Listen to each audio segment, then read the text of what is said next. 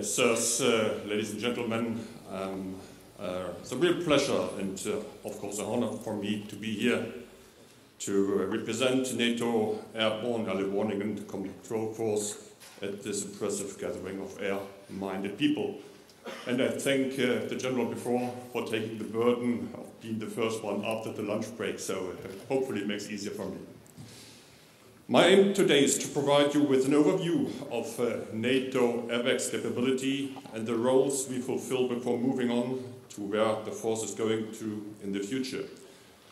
I will show how our mission and its associated tasks have been evolved through the years and how we have upgraded our capability to meet those tasks as the issues and themes we face today are very similar to those from our last 35 years.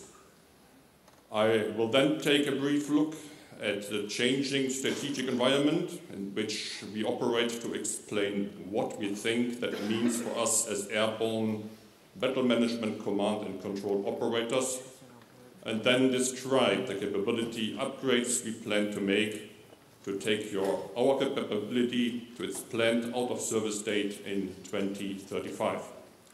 I will use the E3A capability evolution as an example, but would stress that the lessons and principles equally apply across both the E3A and E3D components and the wider NATO AWACS mixed force, and with some caveats across the spectrum of battle management, command and control activity.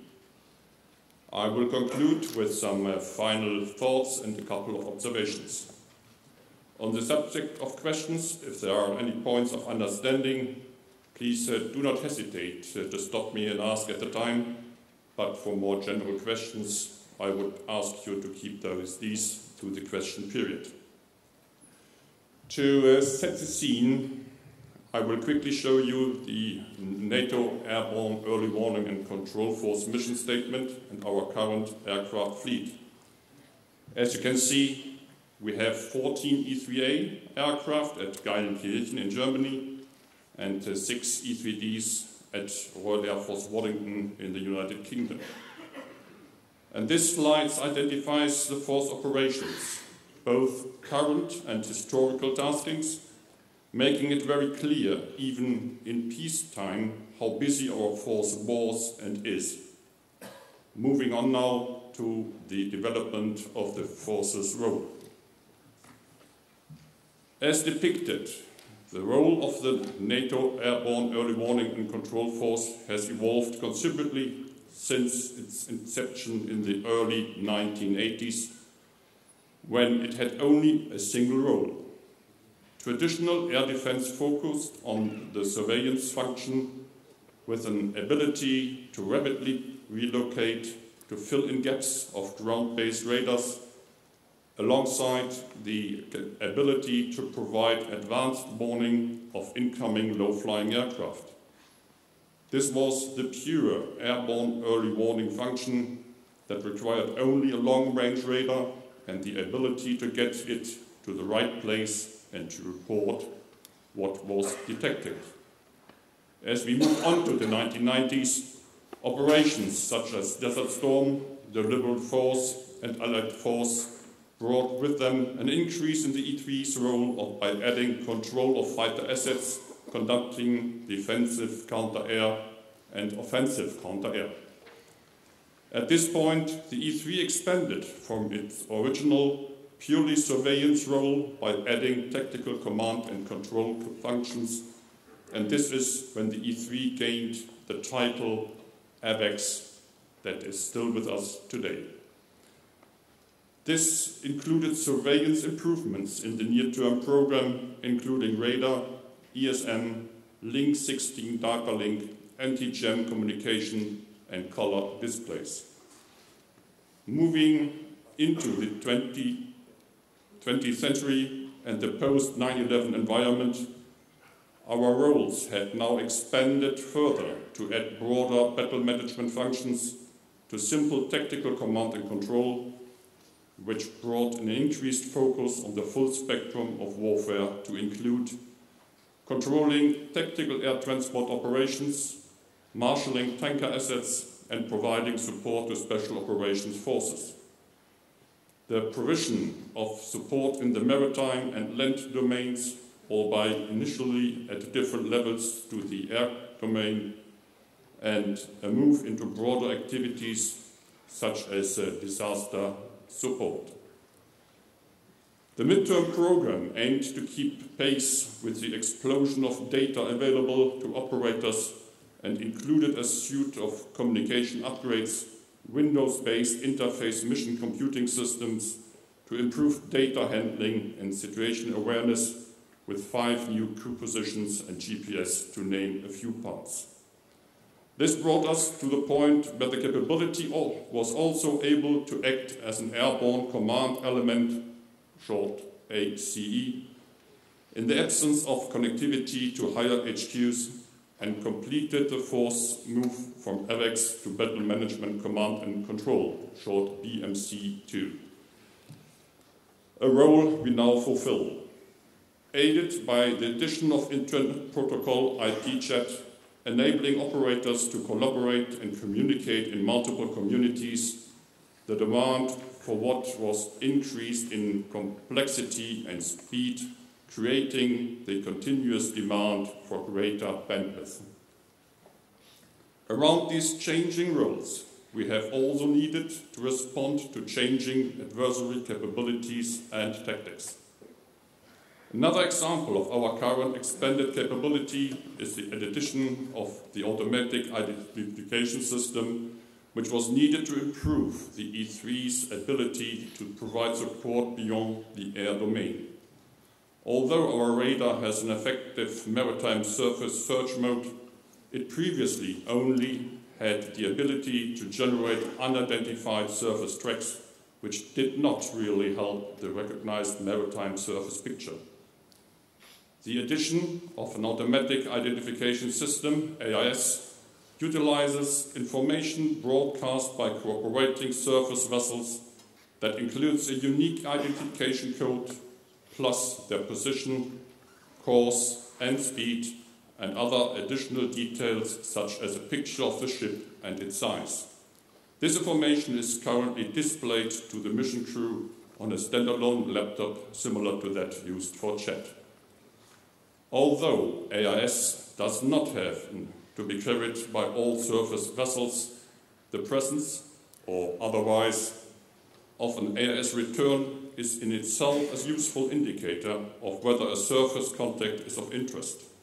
This allows E3 crews to improve the effectiveness of its management and of cooperating maritime surface or aviation assets by ensuring search areas and visual identifications are focused on tracks of interest. Thus, AIS not only allows the E3 to augment the surface picture, but also greatly improves the ability of the E3 to act as a force multiplier by optimizing the use of maritime assets involved in surface searches. Thus, you can see that as the NATO Airborne Early Warning and Control Force, missions have grown from AEW to AWACS to BMC2. Our capability has evolved to keep pace. As the operating environment, our mission and associated tasks have continually evolved through the life of the force, remaining capable and relevant has only been possible due to a series of upgrades that respond to those changes.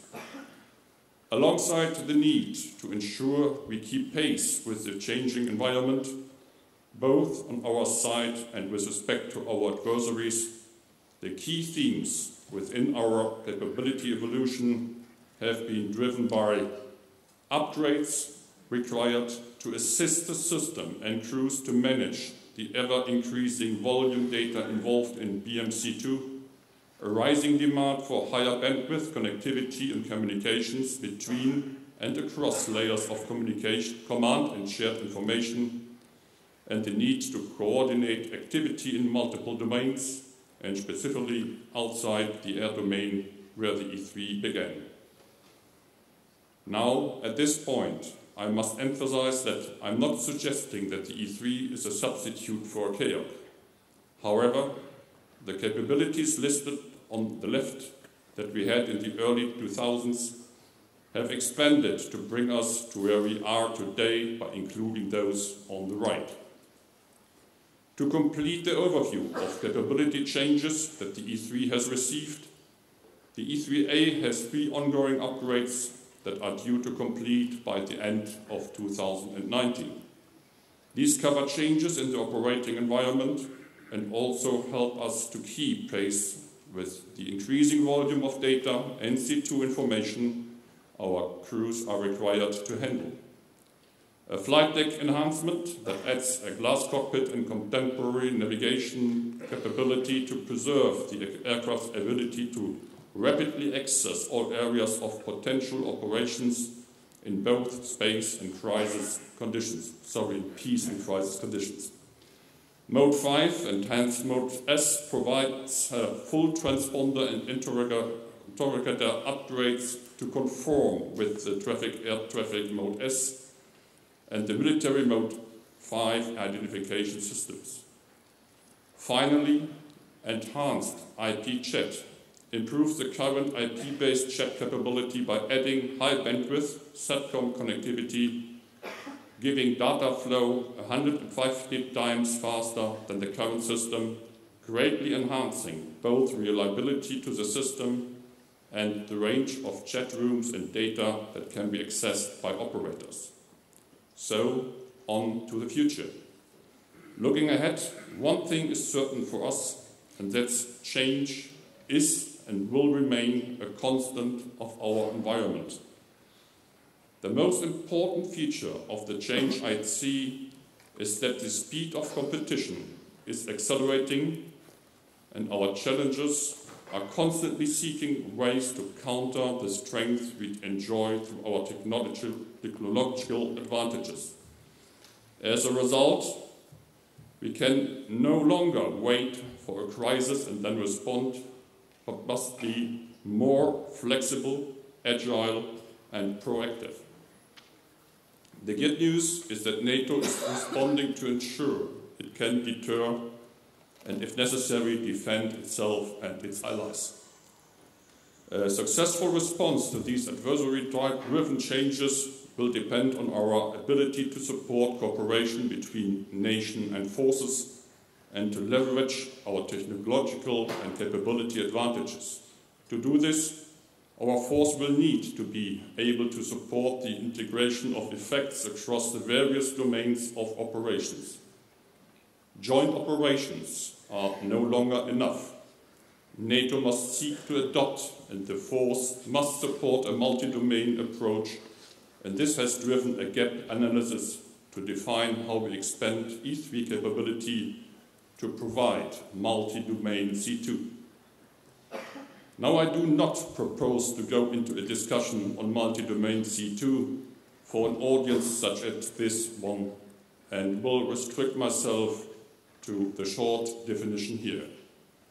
In essence, MDC2 seeks to remain ahead of our adversaries by integrating our actions across domains to create synergistic multi-axis effects that present new dilemmas for adversaries that are more difficult to counter. For our force, continuing to remain relevant in the future battle space means evolving our battle management C2 capability to enable us to execute effective C2 across multiple domains. As shown here, the key to delivering effective C2 across multiple domains is the ability to achieve decision superiority over our adversaries. Decision superiority requires not just superior collection and sharing of information, but also the conversion of this information into understanding. This slide begins on the left with the type of information and associated capabilities that are needed to enable decision superiority. These must be changed into information using the activities and products in the center column in order to produce the effect we need on the right of the chart. For NATO and its partners, this underlines the need to maximize the benefits of what we have, including actions such as fully integrating the new AGS system into the wider JISR enterprise. The core issue for us as operators is that in making the change from BMC2 to MDC2, the, vol the volume of data we need to manage will become even more challenging. And consequently, that effect triangle of data will be critical to ensure relevant data is presented in a way that operators can manage. Interoperability will also be essential in the multinational environment that remains the cornerstone of NATO's success. However, it's important to note that the challenge in this area is becoming less and less concerned with equipment standards and ever more to do with timely access to information limited by its releasability or where it is stored. For the E3s to play their part we are striving to learn from our successes based on the knowledge that the roles we need to fulfill will continue to expand to encompass more functions in new domains, that our adversaries will continue to strive to identify our key strengths, to adapt to our evolving capabilities, and to blunt our advantages. And that sensors will continue to extend their coverage and therefore produce ever larger volumes of data that must be effectively managed to enhance understanding rather than overwhelming decision makers. Against this background, the force, in conjunction with NAPMA, our procurement agency, conducted a capability gap analysis to define how we expand E3 capability to support multi-domain C2. Unsurprisingly, the results of our capability gap analysis determined that the themes of previous upgrades are still relevant. Sustaining current capability, improving connectivity and co collaboration, assisting operators to deal with the enhanced workload associated with new domains and expanded roles all, need, all needed to continue into the requirement priority list for our final lifetime extension program, or FLAP. FLAP is a 1 billion US dollar program that will add by 2025 enhanced airborne networking that provides a future 800 times increase on bandwidth. This represents a total of uh, 1,000 times over current capability and allows greatly improved reliability and broadened connectivity to more chat rooms. This increase in capacity will also provide operators with access to other resources such as GMTI, streaming, and Intel product products, though NATO's uh, coalition shared data that are essential to fully enable the MDC2 role. In parallel, Link 16 will be also upgraded to improve security and reliability as part of ongoing system-wide upgrades and to extend the system's flexibility, capacity and range with the latter incorporating the Joint Range Extension Applications Protocol, the JREAP, taking the system to beyond line of sight participants using SATCOM enabling IP-based connectivity. For communications, secure anti-jam radios will be added to sustain our ability to communicate when operating against evolving modern threats and to further broaden our frequency range to encompass more cooperating force elements and partners. FLAP will also improve our passive sensor capability and will enhance our mission system by fully integrating chat and AIS into operator workstations, introducing enhanced uh, HMI such as larger screens to improve operator cap capacity and facilitate the employment of new resources such as GMTI streams and other CSD products. So to conclude, I must say that I'm not for one minute suggesting that the NATO Airborne Early Warning and Control Force capability is the answer to the multi-domain C2 challenge or that it is a substitute for an air operations uh, center. I do believe, however, that I have shown how we have learned from the lessons of our past evolution to sustain our ability, our mission in the future environment. The lessons, I believe, are also widely applicable. Our planned transition to support a multi-domain approach offers clear lessons for C2 practitioners that are as relevant now as they were in the 80s and 90s. Ever expanding volumes of data will need to be processed into information and understanding. Ever greater bandwidth is and will continue to be needed to achieve successful cooperation and synchronization of effect. An ever greater burden will be placed on decision makers' cognitive capability, requiring innovative solutions beyond human machine interface improvements to address such as artificial intelligence for data triage or as LEAP similar to the move to IP-based chat we have already made. Although I have drawn on the E3A examples, I also believe these lessons are widely applicable. The technologies we need are platform agnostic and may already exist. However, I would observe that technology, alo technology alone is not sufficient, and we have already found that changes must be enabled by suitable CONOPS and supporting structures. Finally, a shift on thinking will be essential to allow necessary changes to be identified and to take root. The bottom line is that the E3Ds will continue to evolve to meet their mission until the out of service date in 2035. The challenge will be replacing the capability.